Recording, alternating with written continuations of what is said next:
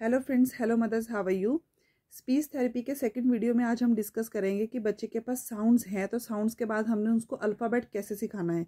मैंने first video में ये बताया था कि बच्चे के पास अगर अ बस कोई भी साउंड है तो आप उसको सबसे पहले फ़र्स्ट ऑफ़ ऑल साउंड्स निकालना सिखाइए। जब बच्चा साउंड्स निकालने लग जाए, चाहे वो एक, दो, तीन में निकाले इंटरेस्ट लेने लग जाए देन आप ट्राई करिए कि बच्चे को ए टू जेड कैसे सिखाना है। ए टू जेड सिखाने के लिए बच्चे को हमने सबसे पहले क्या करना है कि ए टू जेड के फ्लैश कार्ड्स लेने हैं और बच्चे को डेली दस मिनट दिखाने ही दिखाने हैं और साथ में साउंड्स निकालनी है।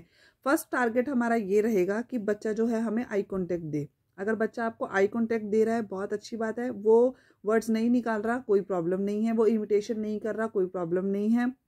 हमने सिर्फ़ आई कॉन्टेक्ट लेना है। हमारा फ़र्स्ट टारगेट पूरा हो गया आई कॉन्टैक्ट के बाद आपने डेली महीना डेढ़ आपने कंटिन्यू दस मिनट उसको फ्लैश कट के साथ ये चीज़ करनी है। बच्चे की एक रूटीन फिक्स हो जाती है कि मेरी मम्मा आज ये काम दोबारा ज़रूर करेगी। आई कॉन्टैक्ट देने के बाद उसका धीरे धीरे आप देखिएगा इंटरेस्ट डेवलप होगा। एक दिन डेफिनेटली वो अ इट इज़ आ, बा, सा, कोई ना कोई साउंड निकालने की कोशिश ज़रूर करेगा।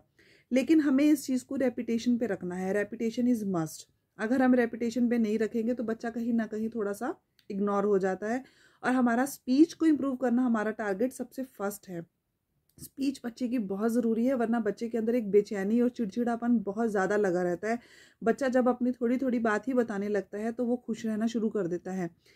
मेरी बेटी जब नहीं बोलती थी, तब वो बहुत बेचैन होती थी, लेकिन अब जब वो थोड़ा बहुत बोलने लग गई है, जितनी बातें उसको समझ आ रही हैं वो बहुत खुश रहने लगी है इवन कि उसकी जो प्रोग्रेस है डे बाय डे बहुत इंप्रूव हो रही है। तो हमने बच्चे की स्पीच पे ज़रूर काम करना है साथ साथ स्पीच के लिए हमें बच्चे की मसाज के ऊपर भी फोकस करना है इनसाइड और आउटसाइड और अंदर जो है कुछ टूल्स हैं जिसकी मैंने बहुत पहले वीडियोस पोस्ट की थी। अगर आप चाहे तो बाय करके खुद ही घर पे कर सकते हैं टंग एक्सरसाइज करवा सकते हैं। तो इस तरीके से जो है हमें मसाज के साथ साथ बच्चे को जो है साउंड्स पे सबसे पहले लेके आना है, और आई कॉन्टैक्ट हमारे लिए बहुत ज़रूरी है। तो हमने जो फ्लैश कार्ड के साथ बच्चे को ए टू जेड डेली दिखाना है, दिखाने के साथ साथ जो है हमने अलग अलग तरीके से साउंड निकालनी है और मुँह भी बनाना है ताकि बच्चा उसको देखे और थोड़ा लंबा करके बोलना है। आ, बा, का, डा, ई। समटाइम्स अगर आपको बच्चे के साथ फन भी करना पड़े तो आप ऐसे भी कर सकते हैं। ई, आ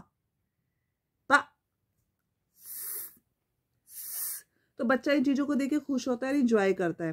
तो ये टारगेट आपका एक महीना डेढ़ महीना रहना चाहिए। आप देखिएगा डेफिनेटली बच्चे को फ़र्क पड़ता है। मैं आपको वीडियो दिखाती हूँ कि मैं अपनी बेटी को डेली बेसिस पे कैसे प्रैक्टिस करवाती हूँ। प्लीज़ आप देखिए वीडियो आ, बा, का, डा, ई, फा फा, गा गा, हा हा आई जे जे के K L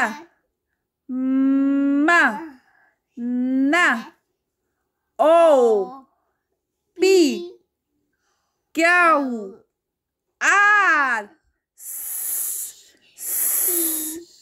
T U V W X Y Z